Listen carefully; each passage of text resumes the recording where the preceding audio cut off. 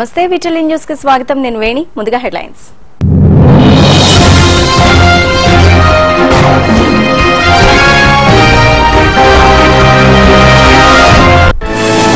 జగన్ ఆరోగ్యంపై సర్వత్రా నెలకొన్న ఉత్కంఠ.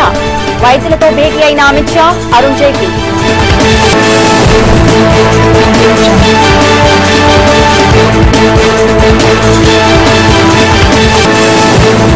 రష్యా ప్రతినిధులతో ముఖ్యమంత్రి భేటీ. వాణిజ్య శాఖ మంత్రి జెనిష్ మ్యాన్చౌతో చర్చించిన చంద్రబాబు.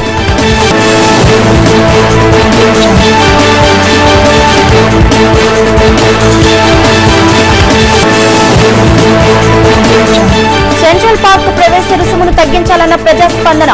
జీవీఎంసీ గాంధీ విగ్రహం వద్ద దీక్ష చేపట్టిన అధ్యక్షులు సిఎస్ రావు.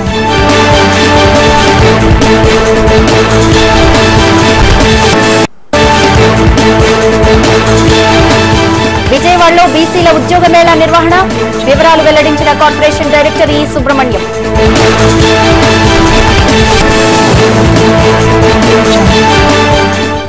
ఇక డీటెయిల్స్ చూస్తే సెంట్రల్ పార్క్ను ప్రైవేటీకరణ చేయవద్దంటూ ప్రజాస్పందన నాయకులు సిఎస్ రావు దీక్షను చేపట్టారు.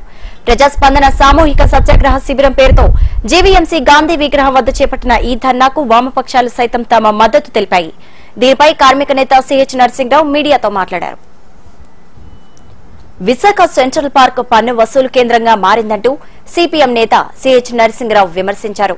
ప్రజా ప్రభుత్వ పర్యవేక్షణ అనే పేరుతో కాంట్రాక్టర్ల దందా సాగుతోందని మండిపడ్డారు. ప్రజాస్పందన సత్యాగ్రహ దీక్షను జీవీఎంసీ గాంధీ విగ్రహం వద్ద నేడు ప్రారంభించారు. ఈ దీక్షను ప్రజాస్పందన నాయకులు సిఎస్ రావు స్వచ్ఛందంగా చేపట్టారు.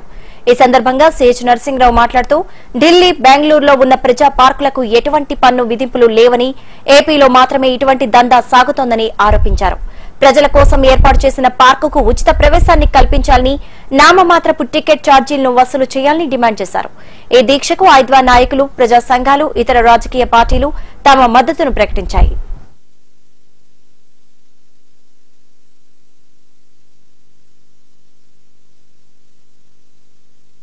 విశాఖ సెంట్రల్ జైలుని పార్క్గా మార్చిన తర్వాత ఇది పన్నుల పార్కుగా మారిపోయింది.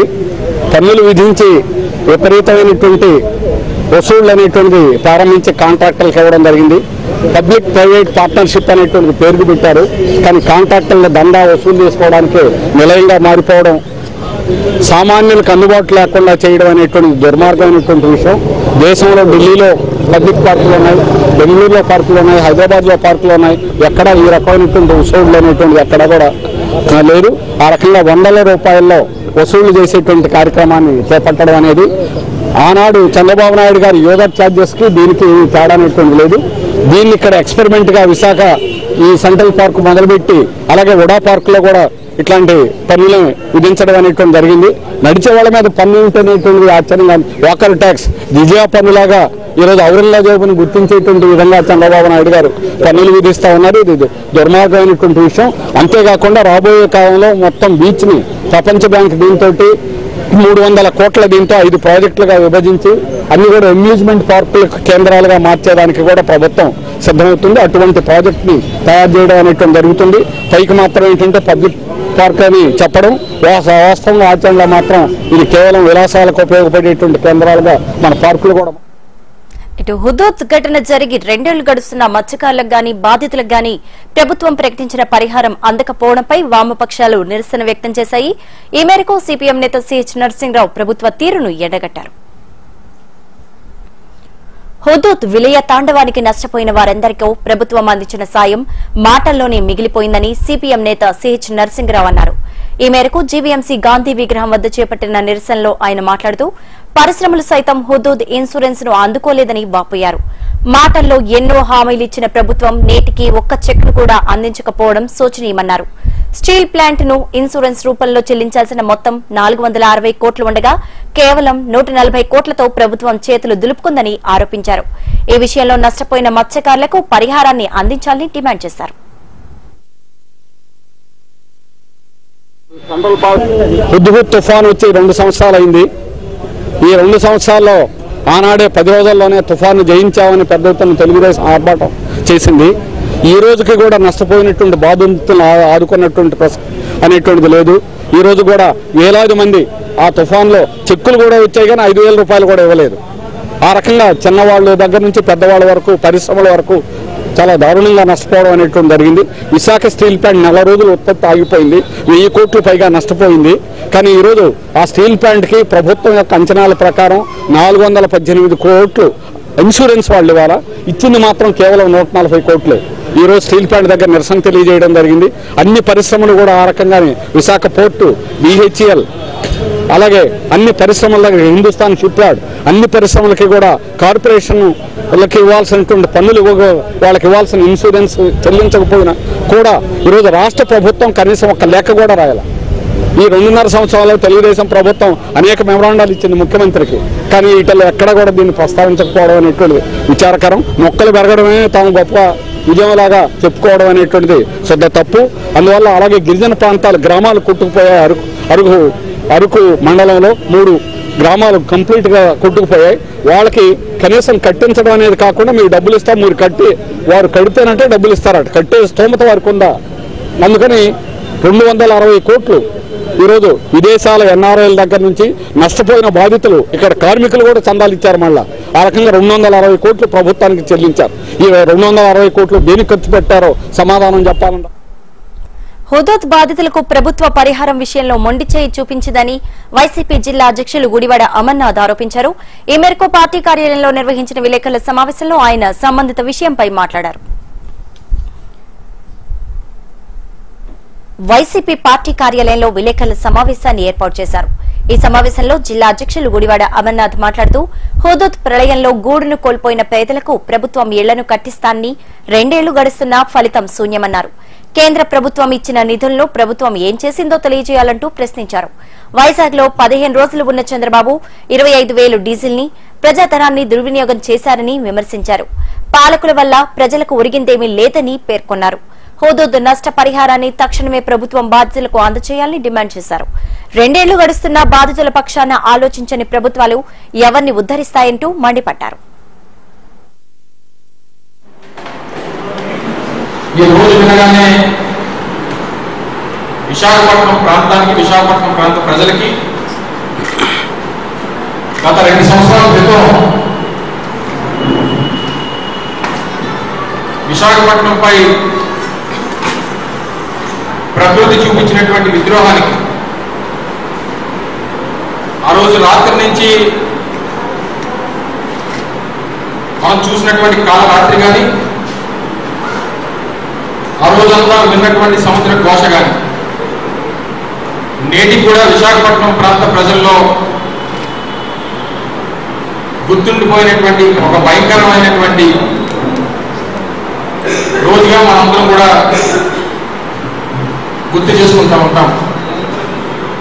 హుదూర్ తుఫాన్ వచ్చి ఈ ప్రాంతం నష్టపోయి నేటికి రెండు సంవత్సరాలు పూర్తవుతా ఉంది. ఉదయం నుంచి చాలా టీవీల్లో చూస్తా ఉన్నా. చంద్రబాబు నాయుడు గారు ప్రకృతిని జయించినటువంటి వీరుల్లాగా ఉదు తుఫాన్లో తుఫాన్ అందరినీ ఆపినటువంటి ధీరుల్లాగా కీర్తించేటువంటి పరిస్థితులు కనబడతా ఉన్నాయి. ఉదు తుఫాన్ వల్ల జరిగినటువంటి నష్టం కన్నా ఉదు తుఫాన్ వల్ల జరిగినటువంటి ఈ ప్రాంత వాసులకు జరిగినటువంటి నష్టం కన్నా చంద్రబాబు నాయుడు గారు చేసుకున్నటువంటి పబ్లిసిటీ వల్ల విశాఖపట్నం ప్రాంతానికి జరిగినటువంటి నష్టం ఇంకా ఎక్కువగా ఈ ప్రాంత ప్రజలు బాధిస్తున్నటువంటి విషయాన్ని రాష్ట్ర ప్రజలకు తెలియ జనజీవనంలో ప్రళయాన్ని సృష్టించిన హుదూద్ తుఫాన్ ఉత్తరాంధ్రలో మూడు జిల్లాలను అతలకుతలం చేసింది. అపార నష్టాన్ని మిగిల్చిన ఆ చేదు జ్ఞాపకాలకు నేటికి రెండేళ్ళు పూర్తయింది. ముఖ్యంగా హుదూద్ కొరడాకు ఏపీ వాణిజ్య నగరం విశాఖ విషాద నగరంగా మారింది. హుదూద్ పిడిగుద్దుల నుండి బతికి బట్టకట్టిన విశాఖపై వీటలీ స్పెషల్ ఫోకస్.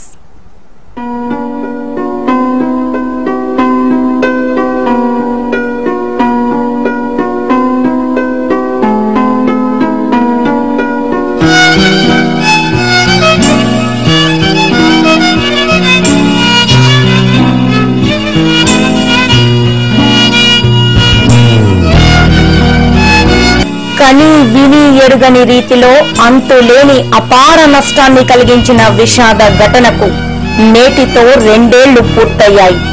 ప్రకృతి క్రోపానికి పర్యాటక నగరం విలవిలలాడింది. తెలుగు నేలపై తుఫాన్ విజృంభణ వింత కాకపోయినా విరుచుకుపడ్డ వికటాట్టహాసానికి విశాఖ ఓ పీడకలను చవిచూసింది. మరపురాని ఆ ఘటన అక్టోబర్ పన్నెండు రెండు వేల పద్నాలుగులో జరిగింది. ఉదయం ఎనిమిది నుండి పన్నెండు గంటల మధ్య సమయంలో గంటకు రెండు వందల పది కిలోమీటర్ల వేగంతో విశాఖ వద్ద హుద్హుద్ తీరాన్ని దాటింది. ఇరుగు పొరుగు వారితో మాట్లాడే దిక్కు తోచక ఇళ్ళలో కమ్యూనికేషన్ లేక నీడ గూడు కోల్పోయిన అభాగ్యులు ఎందరో ఆ చేదు జ్ఞాపకాలను నెమరు వేసుకుంటున్నారు అయితే తుఫాన్కు సంబంధించిన ప్రతి ముఖ్య సమాచారాన్ని అమెరికాకు చెందిన నాసా మూడు రోజుల ముందుగానే తెలియజేసింది. దీంతో అప్రమత్తమైన యంత్రాంగం ప్రాణ నష్టం జరగకుండా కాపాడగలిగింది. భారత్కు పొడవైన తీరరేఖ ఉండడంతో తుఫాన్ ప్రభావం కూడా అధికంగానే ఉంటుందని మీడియా మాధ్యమాల్లో హెచ్చరికలు జారీ అయ్యాయి. ఇతర ప్రాంతాల వారికి క్షేమ సమాచారం అందించే సౌకర్యం లేదు. కొవ్వొత్తిని కూడా అధిక ధర వెచ్చించి ప్రభుత్వ సాయం కోసం ఎదురు చూస్తూ సుమారు నలభై ఎనిమిది గంటల పాటు విశాఖ వాసులు ప్రళయ తాండవాన్ని చూశారు. సముద్రం పొంగిపోతున్నట్టు వచ్చే శబ్దాలు భీకర వేగంతో వాయుదేవుని హోరు నేల కొరుకుతున్న వృక్ష రాజాలు కమ్ముకున్న రాక్షస మేఘాలు నీటి నిప్పులు చెరుగుతున్న ఆకాశం. ఏం జరుగుతోందో తెలియని మనో సంఘర్షణలో ఒకరికొకరుగా నిలిచిన కుటుంబాలు చీకటి రాజ్యాన్ని చూసిన ప్రజలు నేటికి ఆ ఘోర చిత్రాలను మరువలేకుండటం జగత్ విదితం. మనో సంకల్పంతో చేయి చేయి కలిపి కూలిన గోడలను నిర్మించినట్లే విశాఖను ఏడాది తిరగకుండా ప్రకృతి రమణీయతకు నిలయంగా మార్చారు విశాఖ వాసులు. సుందర నగరం హుద్హుద్ దాటికి తల వంచిందేమో గాని దాన్ని తలదన్నేలా పచ్చదనాన్ని పెంపొందించుకుంది. ప్రళయ తాండవం చేసే వినాశనాన్ని చూసిన తుఫాన్కు మరింత వేగంతో ఎదిగిన పచ్చదనం సవాల్ను విసిరింది. ఇది మన చేదు జ్ఞాపకాలకు దీటైన ఓదార్పు. నెగ్గటం ఒగ్గటం విశాఖకు వెన్నతో పెట్టిన విద్య. చెడుపై మంచి విజయం అంటే ఇదేనేమో. అందుకే దసరా పండుగ విశాఖకు నిజమైన పండుగ.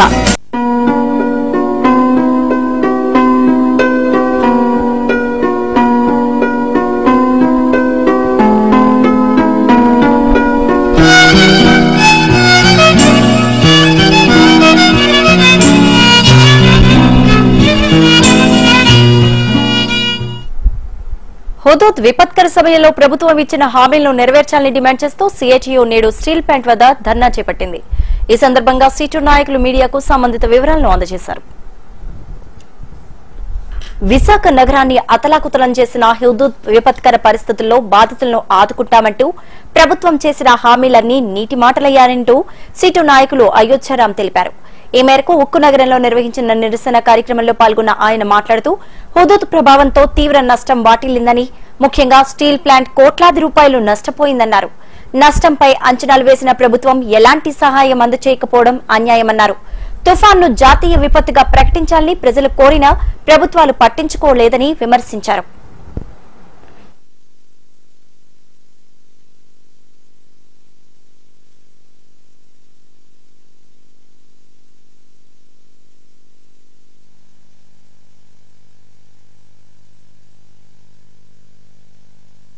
నిజంగానే ఆ ఊసేయటం కూడా అత్యంత దుర్మార్గము రెండు ఇదే రోజు రెండు వేల పద్నాలుగు సంవత్సరంలో ఉత్తు తుఫాన్తో విశాఖపట్నం అతలాకుతలం నిర్వహించే మనందరూ కూడా తెలుసు ఆ సందర్భంగా రాష్ట్ర కేంద్ర ప్రభుత్వాలు ఇటు రాష్ట్ర ముఖ్యమంత్రి అటు దేశ ప్రధాని విశాఖపట్నం మీద విశాఖపట్నం ప్రజల మీద చాలా మమకారం చూపిస్తూ ఏమైనా దేశం మొత్తాన్ని తీసుకొచ్చి మీ ముందు పెడతాం విశాఖపట్నాన్ని ఆదుకుంటాం ఇట్లాంటి సమస్యల నుంచి మేము బయటకు తీసుకొస్తామని చెప్పేసి హామీలు ఇచ్చినటువంటి ఆ రోజు రాష్ట్ర ముఖ్యమంత్రి కానీ ప్రధానమంత్రి కానీ విశాఖపట్నం పట్టించుకోలేదు.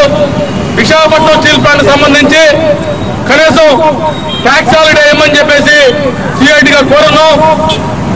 ట్యాక్స్ హాలిడే పేరు మీద ఒక రూపాయి కూడా కేంద్ర ప్రభుత్వం మనల్ని ఆదుకున్న పరిస్థితి లేదు.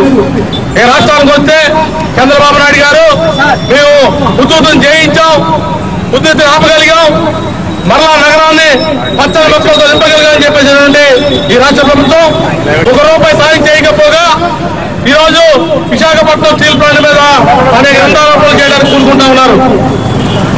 మరి విశాఖపట్నం స్టీల్ ప్లాంట్కి వెయ్యి కోట్ల రూపాయల పైచీలకు లాభ నష్టాలు వస్తే ఆ నష్టాలు కాదని ఇన్సూరెన్స్ కంపెనీల పేరు మీద రెండు వందల మూడు కోట్లు మాత్రమే డ్యామేజ్ అని చెప్పేసి చూపించడం జరిగింది. ఉత్పత్తిలో నష్టం అనేది రెండు వందల పదిహేను కోట్లు చూపించారు. రెండు కలిపి నాలుగు వందల పద్దెనిమిది కోట్ల రూపాయలు చూపిస్తే ఈ నాలుగు వందల పద్దెనిమిది కోట్ల రూపాయల్లో గత రెండు సంవత్సరాల్లో ఇన్సూరెన్స్ కంపెనీలు విశాఖపట్నం స్టీల్ ప్లాంట్ చెల్లించింది. కేవలం నూట నలభై కోట్లు మాత్రమే. Take a break in vital news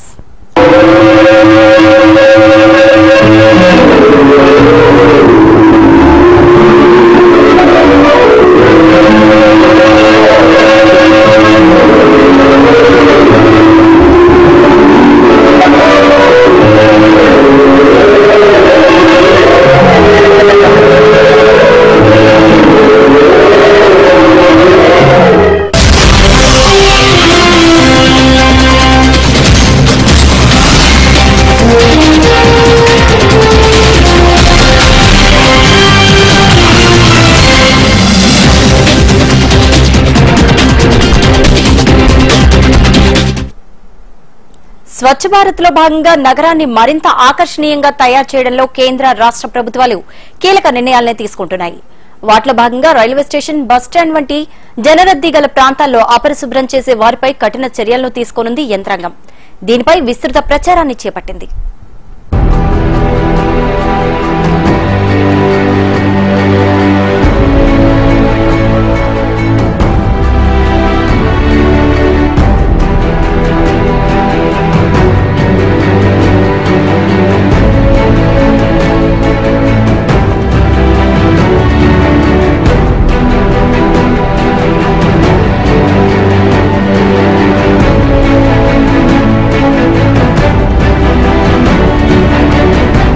railway station పరిసర ప్రాంతాలను అపరిశుభ్రం చేసే వారిపై కఠిన చర్యలు తీసుకోనుంది సంబంధిత శాఖ.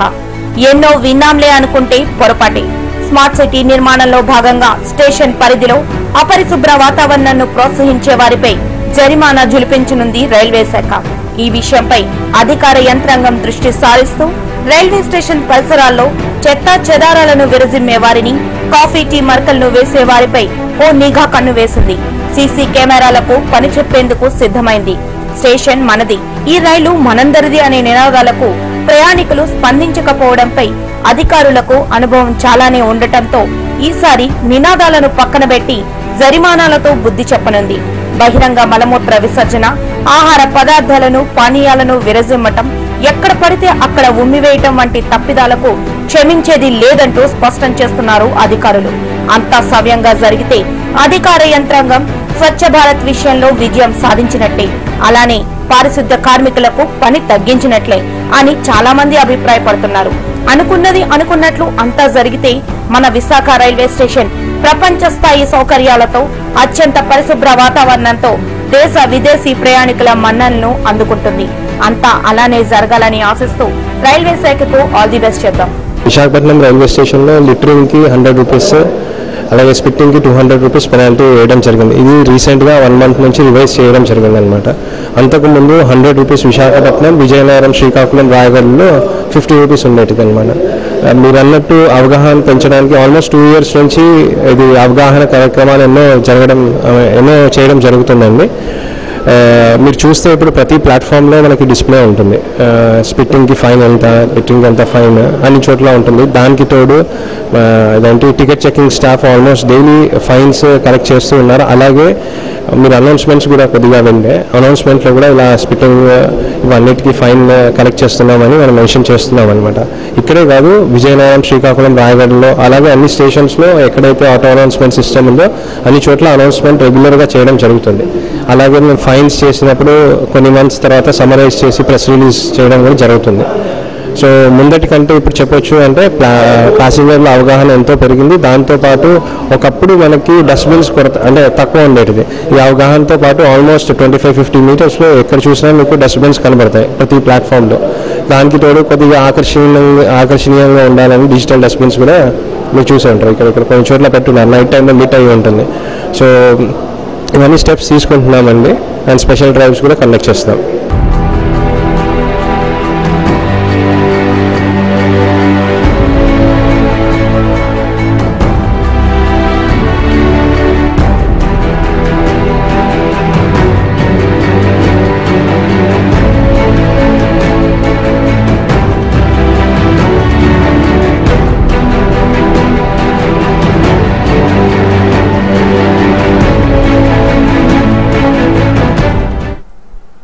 దసరా నవరాత్రుల్లో భాగంగా దుర్గాదేవి ఆలయాల్లో శరన్నవరాత్రి ఉత్సవాలు ఘనంగా ముగిశాయి.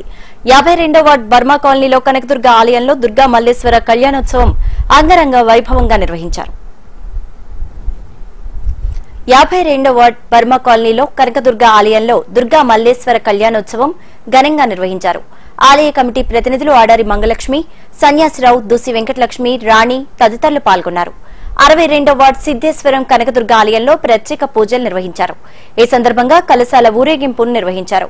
యాభై ఒకటో వార్డ్ నెల్లిముక్కు రామాలయ ప్రాంగణంలో అమ్మవారి ఉత్సవాలు ఘనంగా జరిగాయి. ఈ కార్యక్రమంలో స్థానిక భక్తులు అశేష- సంఖ్యలో పాల్గొన్నారు.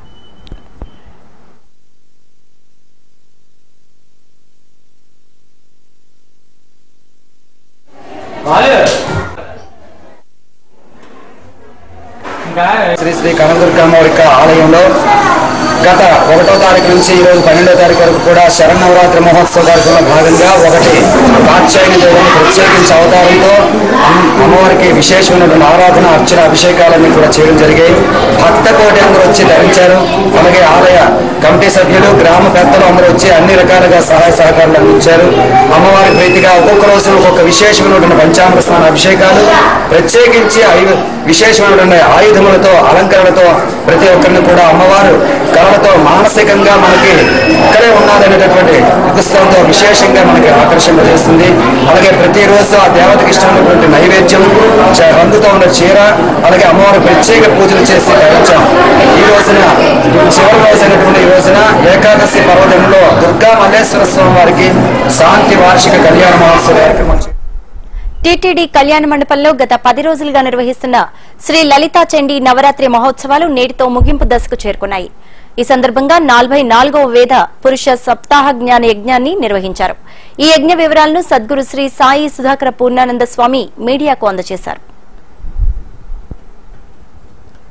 ఎంవీపీ టీటీడీ కళ్యాణ మండపంలో దసరాను పురస్కరించుకుని శ్రీ లలిత మహాచండి యజ్ఞాన్ని నిర్వహించారు. ఈ మేరకు యజ్ఞ వివరాలను సద్గురు శ్రీ సాయి సుధాకర పూర్ణానంద స్వామి మాట్లాడుతూ శోభాయాత్రతో ప్రారంభమైన కార్యక్రమం శ్రీ సత్యనారాయణ స్వామి వారి సామూహిక వ్రతంతో ముగిసిందన్నారు. ఈ కార్యక్రమంలో భాగంగా శ్రీ వెంకటేశ్వర కళ్యాణ మహోత్సవాన్ని నిర్వహించారు.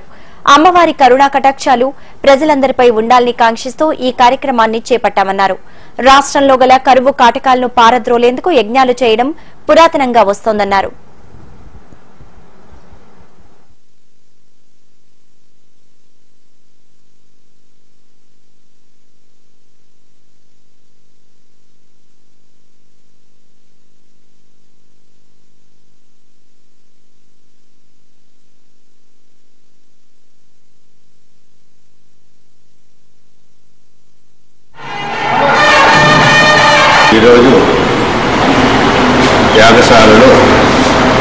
యజ్ఞకుంటాన్ని ఒకటి ఏర్పాటు చేసి అది ఒక పోస్ట్ బాక్స్ లాంటి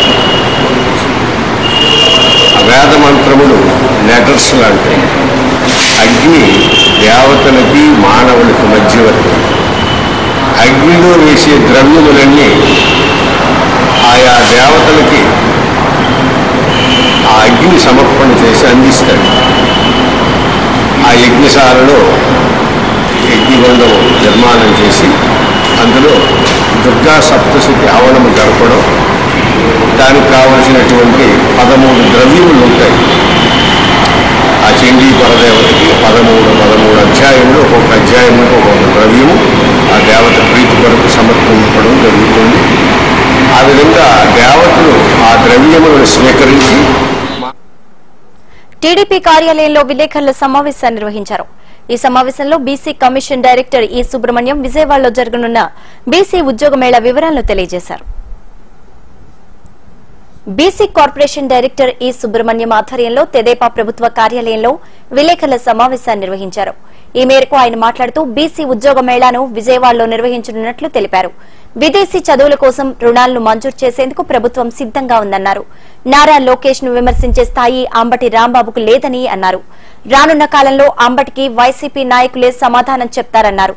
తెదేపా మాత్రమే బీసీలకు సముచిత స్థానాన్ని కల్పించిందని స్పష్టం చేశారు. బీసీ ఉద్యోగ మేళ. కొన్ని సమస్యలు ముందుకొచ్చాయి ఉద్యోగాలు ఇచ్చేందుకు. ఆ సమస్యలకి బీసీలో నిరుద్యోగులుగా ఉన్నటువంటి యువకులందరినీ కూడా రేపు సెలెక్ట్ చేయడం జరుగుతుంది. ఆ కార్యక్రమానికి ముఖ్యమంత్రి గారు కూడా హాజరవుతున్నారు విజయవాడలో. అదేవిధంగా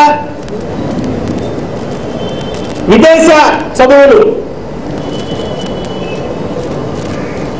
ఇరవై లక్షల రూపాయల వరకు పది లక్షల రూపాయలు మేము సబ్సిడీగా ఇస్తున్నాం.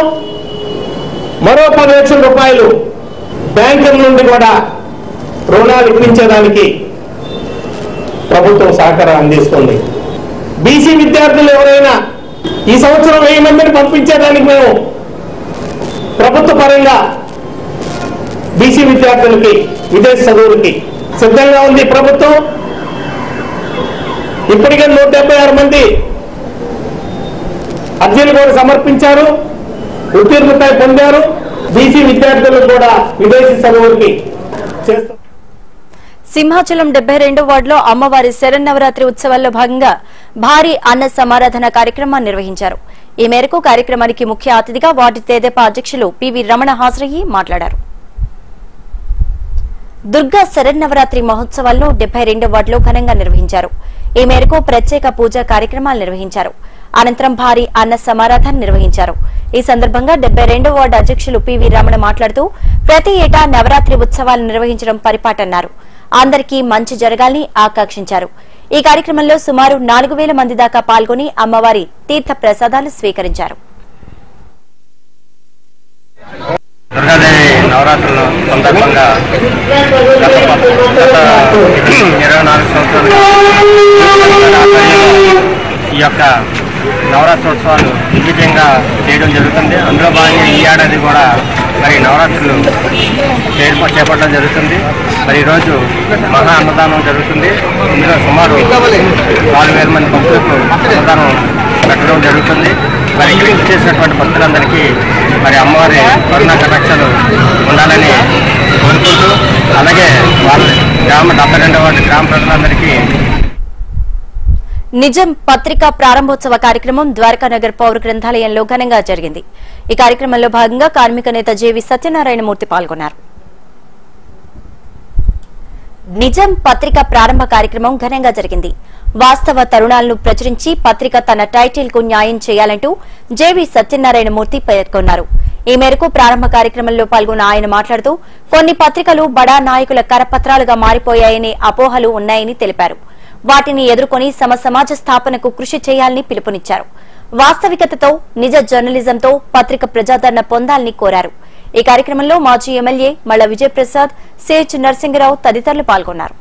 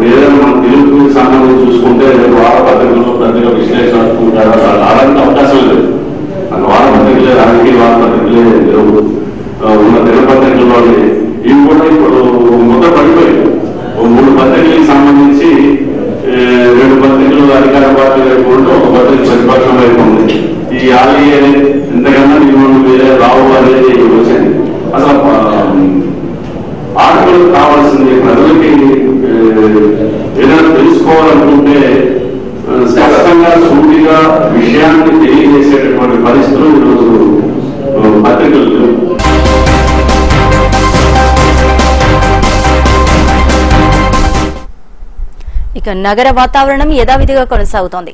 ఎండ తీవ్రత అధికంగా ఉండడంతో ప్రజలు ఉక్కపోత సమస్యను ఎదుర్కొంటున్నారు. ఉష్ణోగ్రతలు సర్వసాధారణంగా నమోదయ్యాయి. నగర ఉష్ణోగ్రతలు చూస్తే గరిష్టంగా వాల్టేర్లో ముప్పై రెండు పాయింట్ ఏడు ఎయిర్పోర్ట్లో ముప్పై రెండు పాయింట్ ఐదు డిగ్రీల సెల్సియస్గా నమోదైంది. అలాగే కనిష్టంగా వాల్టేర్లో ఇరవై తొమ్మిది ఎయిర్పోర్ట్లో ముప్పై పాయింట్ రెండు డిగ్రీల సెల్సియస్గా నమోదయ్యాయి.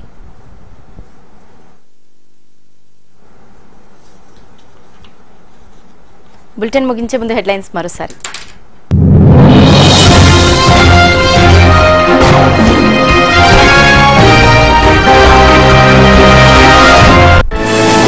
జయలలిత ఆరోగ్యంపై సర్వత్రా నెలకొన్న ఉత్కంఠ.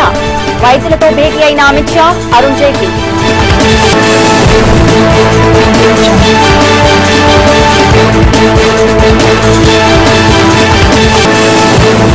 రష్యా ప్రతినిధులతో ముఖ్యమంత్రి భేటీ. వాణిజ్య శాఖ మంత్రి జనీష్ మ్యాన్చౌతో చర్చించిన చంద్రబాబు.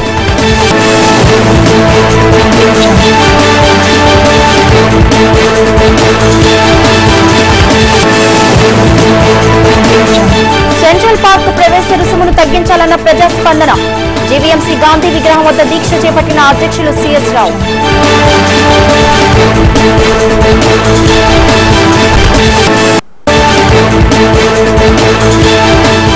విజయవాడలో బీసీల ఉద్యోగ మేళా నిర్వహణ వివరాలు వెల్లడించిన కార్పొరేషన్ డైరెక్టర్ ఈ సుబ్రహ్మణ్యం.